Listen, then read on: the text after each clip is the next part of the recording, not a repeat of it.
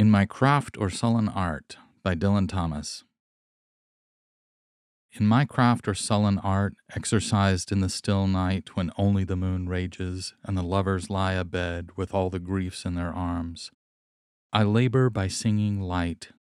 not for ambition or bread, or the strut and trade of charms on the ivory stages, but for the common wages of their most secret heart. Not for the proud man apart from the raging moon I write on these spindrift pages, nor for the towering dead with their nightingales and psalms,